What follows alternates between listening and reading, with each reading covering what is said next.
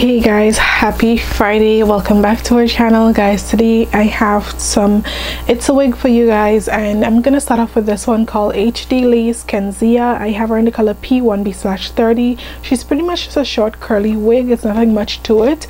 Um, this is what the stock card looks like right here. Of course it comes in a ton of other colors that i will leave in the description box down below so you can check it out. I'll leave all the colors including a link for you guys to go purchase if you want to purchase this if you're interested the link will be down there. It will take you directly to this unit on the website. You can choose a color purchase from there. But let's get into it. So first of all like i said this is an hd transparent lace wig. The hairline isn't that pre-plucked or that natural looking but it doesn't really matter because of how curly the hair is and it pretty much just covers the hairline.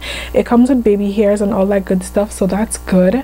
And it comes with a center part clearing off straight out the box. All I did was add powder to it. This is heat safe up to 400 degrees but I didn't add any heat to the roots because I didn't feel like it needed you know to have any heat added to it because of how curly the hair is and stuff like that.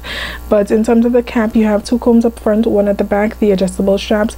This is a regular cap construction. It fits pretty comfortable i would say about medium in cap size. And i know a lot of the times i say medium in cap size but it really is like it's not too small and it's not too big. So that's why I say it's like medium in cap size.